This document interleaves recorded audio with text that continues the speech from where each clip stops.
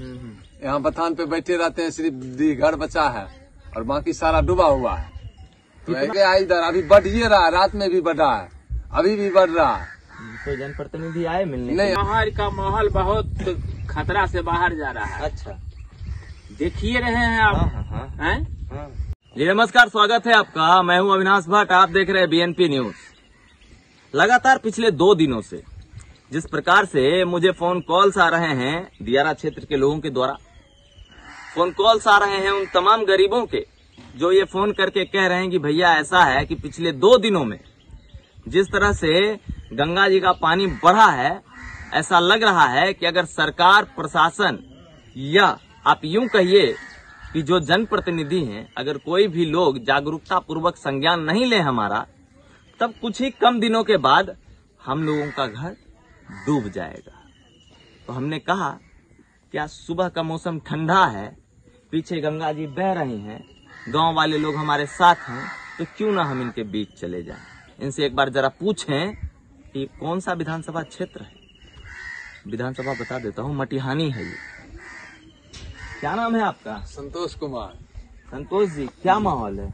माहौल तो है जो गंगा जी अभी पानी बढ़ रहा है हाँ हाँ। और कल तक मुझे रेशियो में गंगा जी है जो डूब जाएगा घर उर। हाँ। हाँ। डूब जाएगा कहाँ जाइएगा? डूब जाएगा तो आप बने के भीतर न जाएँगे। अच्छा। आ, नहीं तो बाकी यहाँ कुछ बचा ही नहीं चारा उरा जो भी था माल जाल के सब खत्म हो गया है। हम्म, हम्म। यहाँ बथान पे बैठे रहते हैं सिर्फ़ घर बचा है और बाकी सारा डूबा हुआ है। कितना भयानक मतलब हमको तो लगता है बहुत भयानक रूप से बढ़ रहा हाँ है हाँ बहुत पानी अच्छा रूप से बढ़ रहा है। कल से आज तक लमसम बित्ता से ऊपर पानी बढ़ गया। अच्छा। हाँ कल से पहले था उधर हम्म। अब आगे आ इधर। अभी बढ़ ही रहा है रात में भी बढ़ा है। अभी भी बढ़ रहा है। कोई जनप्रतिनिधि आए मिलने नहीं अभी तक तो नहीं कोई आए हैं। ना? नहीं। कोई चूड़ो शक्कर देने नहीं? नहीं अभी तक अभी तक कोई नहीं। है? अभी तक कोई नहीं आया। कौन है कौन है विधायक आपके? हमारे राजकुमार जी हैं। राजकुमार जी हैं। ठीक है ये वीडियो वहाँ तक पहुँच जाएगा। देखिए विधायक जी थोड़ा मिल लीजिएगा इनसे। और भी हमारे साथ लोग हैं यहाँ बाबा हैं हमारे साथ बैठे हुए थे इनसे कुछ डिस्कस हो रहा था। जातिगत जनगणना को लेकर डिस्कस होता है समझिए कि जो लोग पुराने हैं हमारे बीच है ना तो वो लोग इन चीज़ों को बेहतर समझते हैं। बाढ़ का कैसा माहौल है यहाँ? यहाँ बाहर का माहौल बहुत खतरा से बाहर जा रहा है। अच्छा।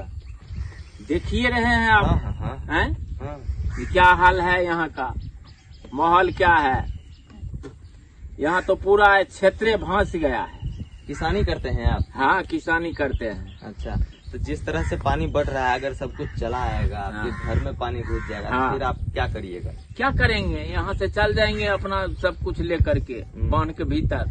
अच्छा। किसी तरह समय काटेंगे और क्या करेंगे? फिर पानी घटेगा तो फिर वापस आएँगे। हाँ पानी घटेगा तब तो आएँगे। पानी घटेगा सूखेगा तब तो आएँगे। कोई सरकारी पदाधिकारी वगैरह आए हैं कभी कोई कोई नहीं कोई नहीं।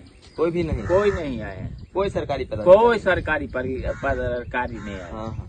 और नेता उता टाइप में कोई आदमी? कोई कोई कोई नेता उता कोई नहीं आया। कोई नहीं। बताइए कैसी व्यवस्था है कि मतलब लोग घर से निकल कर आ नहीं रहे अपनी जनता तक? पता है ये सब भी लोग वोटर ही है। जब समय आता है वोट का तो लोग कंबल से लेकर चादर और चादर से लेकर साड़ी तक रात दिन यहाँ मान लिए जो जी। सुतने बैठने नहीं देते हैं इस चुनाव के समय चुनाव के समय। सुतने बैठने नहीं नहीं। अच्छा।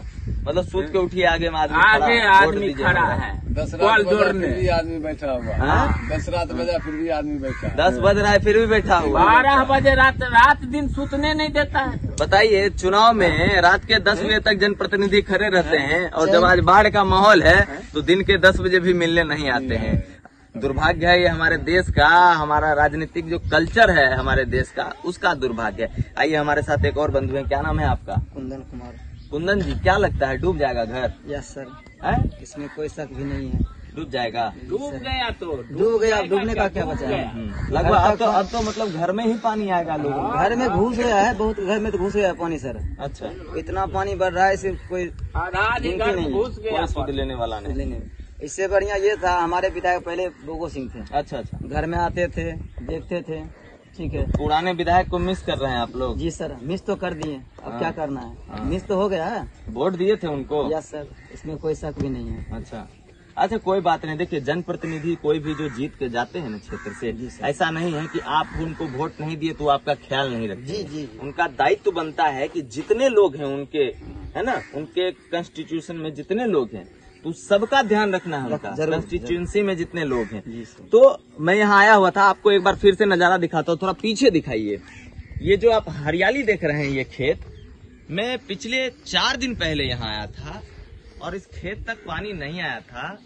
मैं लगातार यहाँ आ रहा था पिछले चार दिन पहले भी आया था मैं उस खेत के पीछे भी गया था जहाँ आप हरियाली देख रहे होंगे उस खेत के पीछे तक पानी नहीं गया था। ये पिछले दो दिनों में पिछले दो दिनों में जिस तरह से पानी का जल स्तर पूरा बढ़ गया तो कुछ कुछ घर हैं जिनमें पानी आ भी चुका है। आप ये मान के चलिए, जो किनारे पे गाँव है, जैसे छितनौर गाँव हो गया, या आप यूँ कह लीजिए जो सिहमा का जो पुरवारी टोला का जो पूरा माहौल होता है हाँ बरबन्ना जो बोलते हैं तो वो सब जो किनारे पे है, उस तमाम गाँव में और तमाम घरों में पानी चला गया है। यहाँ मूलतः किसान निवास करते हैं, किसानी से जुड़े हुए लोग रहते हैं।